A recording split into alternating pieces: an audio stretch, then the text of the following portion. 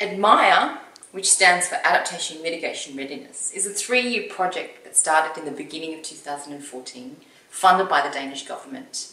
It's a collaboration between the United Nations Office for Project Services and the UNEP DTU Partnership.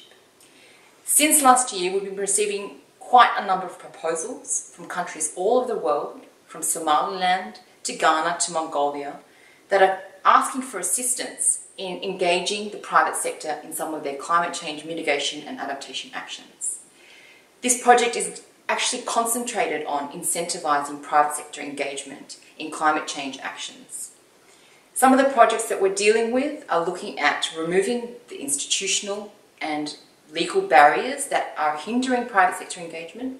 One example is this Coffee Peru, NAMA, which we're actually working with the Peruvian government in making some legal frameworks that are going to incentivize private sector investment into the coffee sector. Other examples are about creating awareness around the private sector and their vulnerability to climate change and the fact that they could actually stand to lose quite a lot of their production.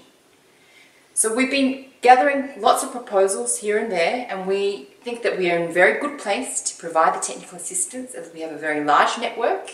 We use experts from the DTU Danish Technical University, as well as from the United Nations and all of our government partners and civil society organisations. So we have a large network to draw on. We've got a large number of experts that can actually assist in providing this technical assistance.